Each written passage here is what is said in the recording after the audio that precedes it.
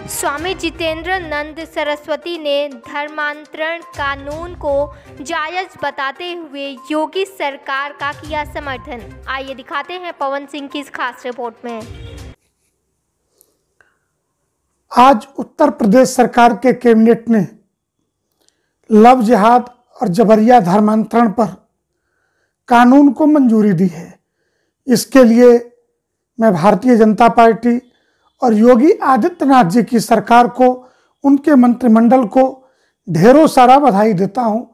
अखिल भारतीय संत समिति का मानना है कि स्वामी विवेकानंद कहते थे कि एक व्यक्ति का धर्मांतरण सनातन धर्म से व्यक्ति का धर्मांतरण नहीं है। यह एक राष्ट्रांतरण की प्रक्रिया है, जिसकी निष्ठा धर्मांतरित होते ही रातों रात बदल जाती है।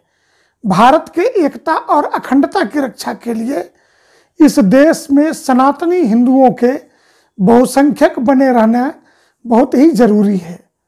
अन्यथा देश के जिन भागों में हिंदू कम हुआ है, आतंकवाद और सांप्रदायिकता की घटनाएँ, अलगाववाद की बातें, अर्बन नक्सली वहीं ज़्यादा सक्रिय हुए हैं।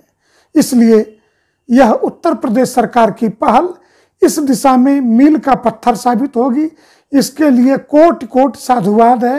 योगी आदित्यनाथ जी और देश के प्रधानमंत्री यशस्वी प्रधानमंत्री माननीय नरेंद्र मोदी जी को।